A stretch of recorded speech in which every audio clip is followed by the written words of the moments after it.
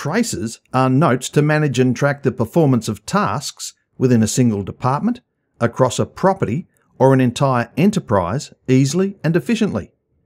A trace can relate to literally any task that needs to be monitored to completion. Some examples include routine repeating tasks such as cleaning the cobwebs from the ceiling fan, reminders of expiring leases and contracts, touchpoints with guests, companies, or travel agents, or the provision of amenities and services to guests. Traces are displayed on the to do chart and can be assigned to an area, room, a reservation, company, travel agent, guest, or group. Traces can be used to communicate and delegate tasks to a department, and notifications can be sent to the message centre for a specific user. As an example, we'll add a trace to a reservation. In the Requirements slash Traces area, select the three dots and choose Add Trace. At this point, especially if you've been using RMS for a while, you might be wondering, what's the difference between a trace and a requirement? There are similarities and some overlap, but the fundamental difference is that requirements are predominantly designed for the provision of an item or service to a guest, typically, but not necessarily, including a charge. Traces are for managing literally anything that happens at your property from day to day. There may be some items that could be handled by a requirement or a trace, after you've been using traces for a while, it will become obvious which is the more appropriate option. In the new trace screen is a drop down list for choosing a template. We'll come back to that shortly. For now, we'll create an ad hoc trace on the fly. First, choose the department that is responsible for the completion of the task.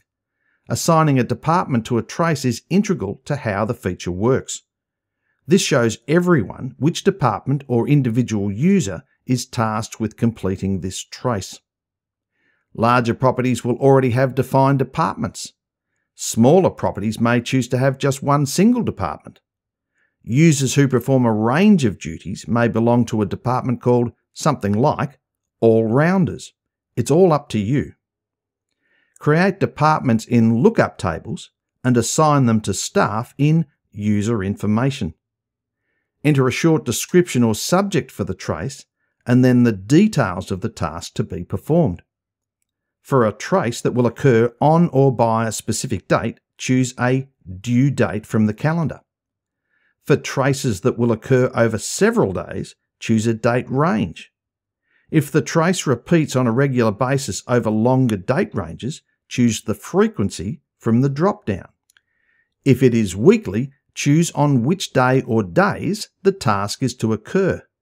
If the task repeats monthly, select the dates that apply.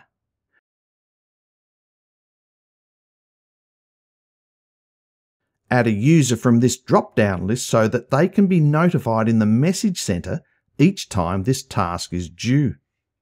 Use this checkbox to mark a single trace as complete. A new trace can be added directly from the to-do list from here. In the Lookup Table section under Setup, create Traces templates for frequently performed tasks.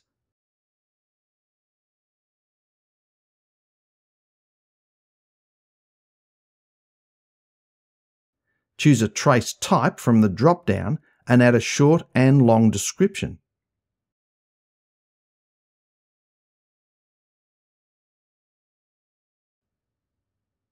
In the Department tab, add the departments to which this task will apply. This template is now available whenever you create a new trace. Some examples of how you might use a trace include the following. From an area, add a recurring task to perform regular maintenance jobs or checks. From a group allotment, add traces as reminders to follow up at various milestones of the reservation.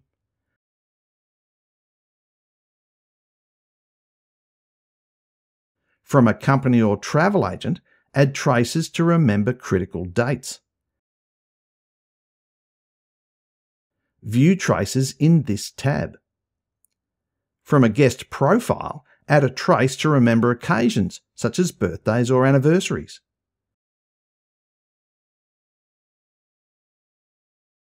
The Traces report can build a list dependent on date range, template, department, user, and more. Manage traces in the to-do chart. Highlight a day and select the daily requirements icon. Here you can quickly go to a trace to edit it or mark it as complete. By default, traces are not visible to all users. To allow a user to access traces, edit their security profile. Permissions can be applied very specifically to individual trace types and actions. Start experimenting with traces today to make sure everything that needs to be done gets done on time.